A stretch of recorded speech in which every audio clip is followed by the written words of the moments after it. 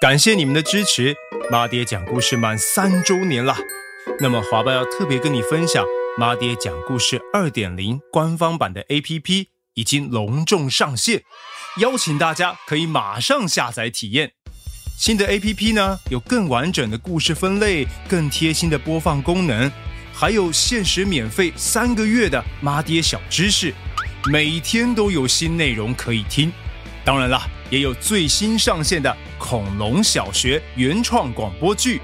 快下载“妈爹讲故事二点零”官方版 APP，让华爸给你最好听的故事。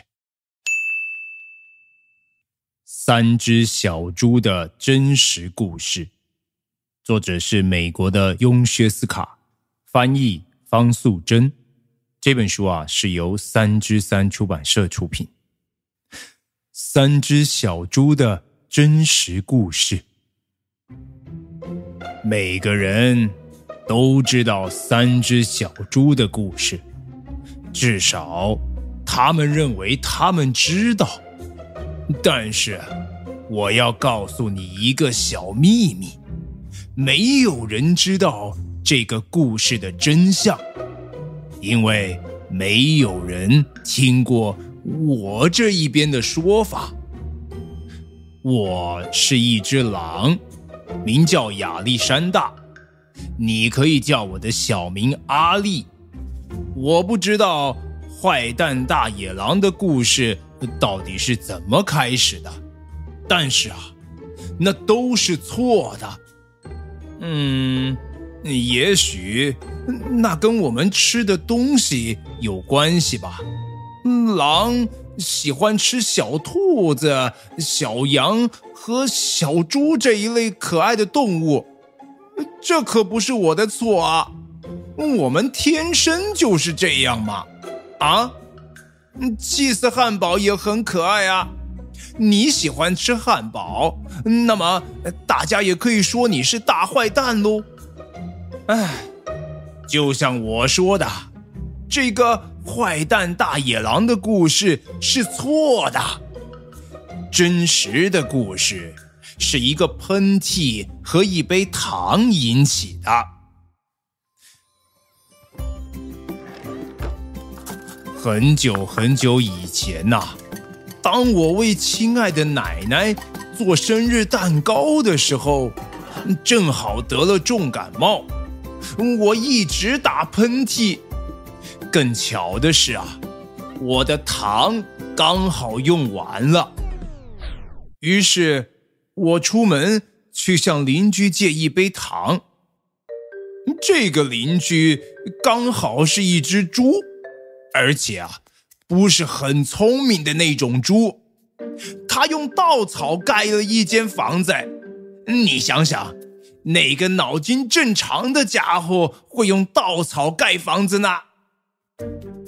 我才敲了一下门，那扇稻草做的门呐，啪一声就掉下来，散了一地。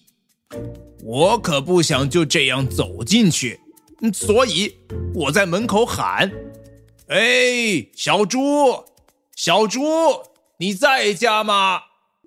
可是没有任何回答。我正想走回家，打算为奶奶做一个不加糖的生日蛋糕。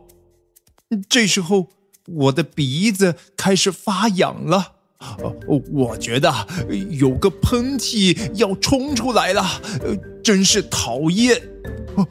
我的鼻子就这样，啊！操！我打了一个好大的喷嚏啊！可你知道发生什么事吗？那间稻草盖的房子竟然被我吹倒了。草堆的正中央躺着一只小猪，它死了。原来它就一直待在里面嘛。哎，对于狼来说。如果舍弃了草堆里这块上好的猪肉，那是很丢脸的事，所以我就把它吃掉了，就当做那是一个好大的气死汉堡呗。唉，呃，我觉得舒服多了，但是我还是缺少一杯糖啊，所以我走到另一个邻居的家。这个邻居啊，是第一只小猪的弟弟，他比较聪明一点，但是也没聪明多少，因为他用树枝盖房子。我敲敲门，因为我很有礼貌，可是没有回答，我就喊：“朱先生，朱先生，你在家吗？”我就听到他大吼：“走开！你这只狼，你不能进来！我正在刮胡子呢。”当时啊，我觉得又一个喷嚏要冲出来的时候，我正紧紧的抓住门把。讨厌的是，我的鼻子又很痒。我试着要把嘴巴捂起来，但是，啊啊啊啊啊！秋，我又打了一个好大的喷嚏。哎，你一定不相信，这个家伙的房子也被我吹倒了，就跟他哥哥的房子一样。当灰尘都散开以后啊，我看到这只猪也死了。哎呦，我的天哪！接下来又是我们狼的面子问题了。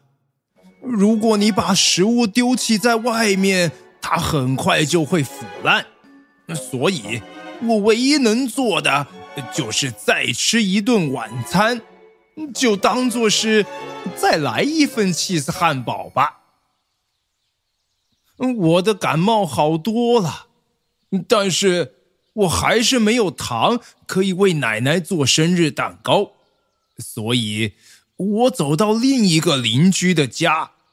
这个家伙是那两只小猪的弟弟，哎，他一定是家族里最聪明的一只猪。他是用砖头盖房子的。我就敲敲门，没有回答，我就喊了：“猪先生，猪先生，你在家吗？”那你知道那只没有礼貌的猪他是怎么回答的吗？他说。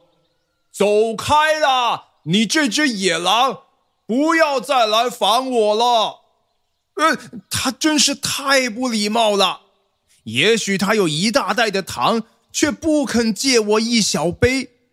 哼，他真是一只猪。我正想要离开，打算回去做一张生日卡片，不做生日蛋糕了。嗯，可这时候。我的感冒又发作了，更气的是啊，我的鼻子真的好痒，我又，